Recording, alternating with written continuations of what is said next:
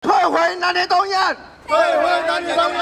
给我司法公正，给我司法公正，退回南铁东院，退回南铁东院，给我司法公正，给我司法公正。今天的都市更新，以及在今天的一个四地重划的上面，大法官解释已经非常明确的去宣示，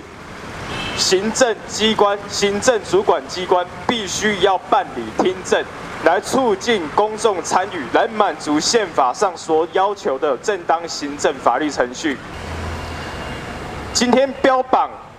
标榜说，我们今天要来促进公众参与，要来满足正当行政程序的内政部，在去年，你们也因为这样的一个理由通过了行政作业要点、行政听证作业要点，但是为什么一直到现在，我们仍然没有看见任何一件的都市计划案或者是土地征收案有在内政部去办理听证？今天一条长达八公里的一个铁路沿线的一个破迁案，一个高达三百二十三户以上的一个破迁户的一个开发案，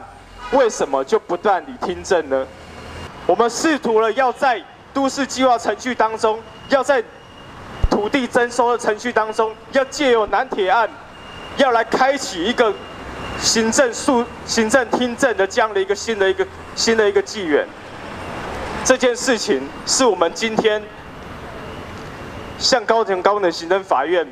开启了这样一个诉讼，一个非常重要的一个目的之一。再来，当然也就是为了要让铁路沿线三百二十三户的一个破迁户，他们的一个居住权益，我们一定会奋战到底。我希望未来任何一个土地征收啊的案件，都能够至少有听证会的保障，让官方和民间可以在一个对等的一个啊论述的平台上面来进行辩驳。历经了那么多次的公听会，我必须说，政府你真是无能。你怎么可以让每次的公听会都没有任何的共识？你怎么可以让每次的公听会都是在跑程序？你知道这样跑程序，就算到了施工那一天，这些居民还是会出来反对吗？你工程还是做不下去，所以我非常非常的愤怒。作为一个都市计划的啊专业的研究的学生，我在这边控诉我的政府，控诉我们的政府。我发现我念了越来越多书，我发现我们的政府都在乱搞。那个时候他们还非常的虚假，说，哦，他们要办一个比行政听证更棒的一个会议，叫做专呃专案小组啊扩大专案小组审查会议。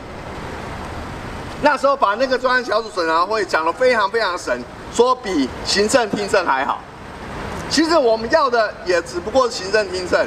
那行政听证呢，也是叶俊荣部长，他在当学者的时候呢，写了一大堆书，所一向去主张的。叶俊荣他觉得说，政府要去侵害老百姓的人权，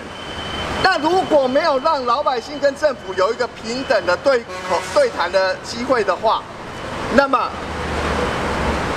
政府行政单位一定是。是一手右手当球员，左手当裁判，那当然就是会虚应故事，然后呢就把这个案子就通过了。那在这个里面呢，就会造成贪污、腐腐败，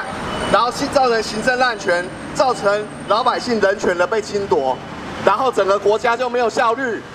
OK，他讲了一大堆，结果碰到我们这个案子。他那些话全部都收回去了。南铁东移这个案子，从九十六年的零点八九公顷，到九十八年综合计划核定的时候，扩大了五倍，征收面积变成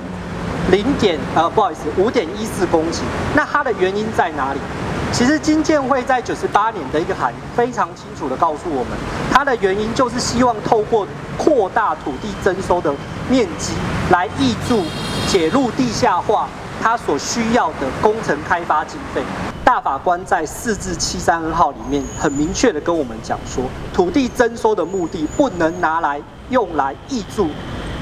工程的开发经费，或者是为了要满足它的财务资产率。但是我们非常遗憾的就是说，在目前台湾的现况，从南到北，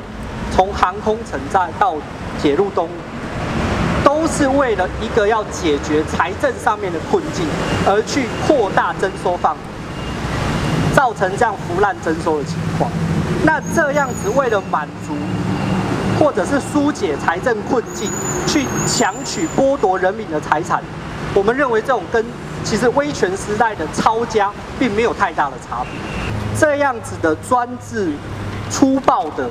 查查抄财产的手法，在现代国家中，透过征收这样子的一个国家公权力的形式，却不断的上演。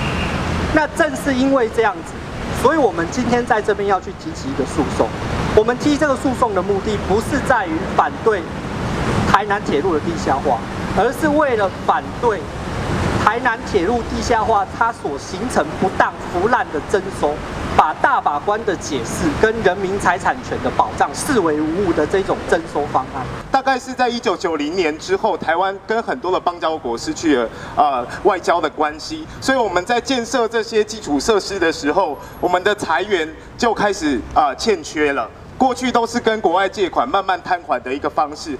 那后来政府就找到一个方式，在两千年之后，他透过台北车站周边的土地的特定专用区，引入私人的资本来进行土地开发。把这些钱拿来回馈他们的所谓的交通建设之后，这样的模式就不断不断的出现。那我们可以看到南铁东一案这个案子就是非常非常经典案例。原本啊八十六年就有的工程版本，不用征收到那么多的土地，到了民国九十六年突然拍板定案，说我们要透过这样东移的方式扩大征收，征收三百多户的人的啊生命的身家财产。来进行铁路的东移，来满足所谓的自偿率。我认为这件事情是非常非常不公正的。政府或者说国家机器怎么能够透过剥夺人民的财产的方式来满足他们对于建设的需求呢？过去国民党在威权时代的时候，为了稳固他的统治的正当性，来限制人民的言论自由。那目前，民进党为了巩固他的政权的正当性，居然透过征收的方法，透过土地炒作的方法，来维护他的政权的正当性。大家说这样合理吗？不合理。所以，我们今天在这里，这些东移啊，反对南铁东移的自自救会的居民们，你们不仅是在为啊自己的啊家乡、自己的家园、自己的人权啊做一个捍卫，同时也在为未来。会遇到破天的这些居民来进行一个争取。